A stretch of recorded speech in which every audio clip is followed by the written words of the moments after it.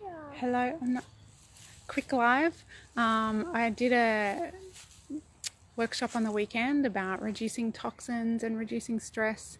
And while I was reading up on my notes um, before the class, I was reading about um, the dairy industry and how they used to use iodine.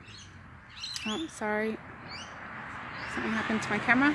Um, they used to use iodine to um, to wash and sterilize the teats on the cattle, and now uh, they they actually made a decision to change to bromine, which is highly toxic, mutagenic, carcinogenic. So this is what they're cleaning the animals with before they um, they take the milk.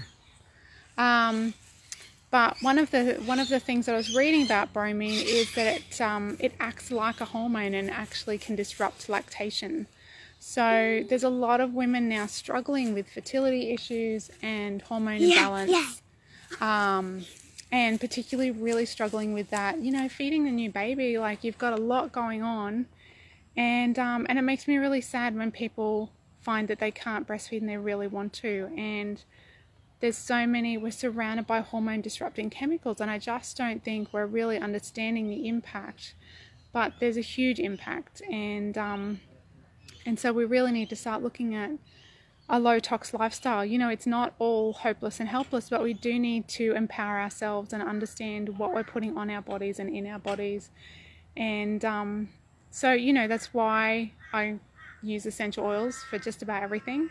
Um, but you know, like finding finding the the healthier diet, the healthier option, and finding the more natural way to address whatever it is that you're facing will have less of a toxic impact on your body, obviously. So it's really just about, and unfortunately, we do have to educate and advocate for ourselves because, you know, this is government regulation, um, changing iodine to bromine, you know, and things like that. So this is not there's there's not um, the government regulations aren't looking out for you and protecting you unfortunately. And another really big one when we're talking about hormone imbalance or a couple of big ones phthalates are huge and they're in everything with uh, synthetic fragrance pretty much. So go through your home and look at your your soaps and shampoos your toothpaste your cleaning products. They all um, contain hormone disruptors. Uh, again why use a natural option? The essential oils. Um, but another one is um, I've just lost my train of thought.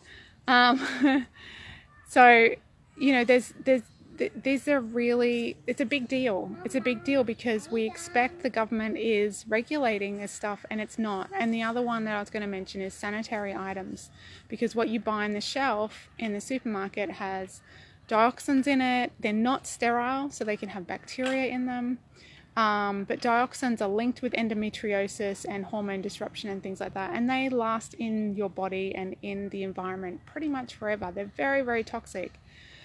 So I don't want to be all doom and gloom. I'm just saying that we need to empower and, and ourselves and advocate for ourselves and really understand what we're doing and make those more natural choices. And they are out there. And that's part of why I love what I do because I can help you find those natural options and help you learn about them and empower yourself and your family. So, hope everyone has a beautiful night. And um, yes, if you'd like more information about any of that, uh, if you are struggling with something, please, please just ask and I will find you the guru that you need, um, whatever that might be. So, please get in touch. All right, take care. Bye.